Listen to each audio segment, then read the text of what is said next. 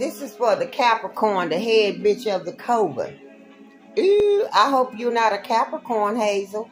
But you know, it's easy to find out. All you got to go do is go into finders. They'll tell you everything. Just like I know all your dope charges that you had. I know about the um uh uh what you call it when you don't have no money and you go file bankruptcy. Uh-huh.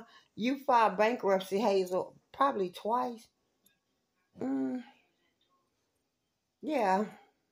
And uh you've been to jail before too, Hazel. Black. You got some dope charges. So it's not hard to find out when your birthday is. Just like you know my address, guess what? I know yours too. Know exactly where you live and everything. It ain't no secret. But see, me, I didn't come after you. It wasn't no need to. But uh you tried it. He know y'all sick people. And he know you been using magic on him for over 10 years. He know. I know too. I'm the one hipped him. You know how twins do. You know what they do. And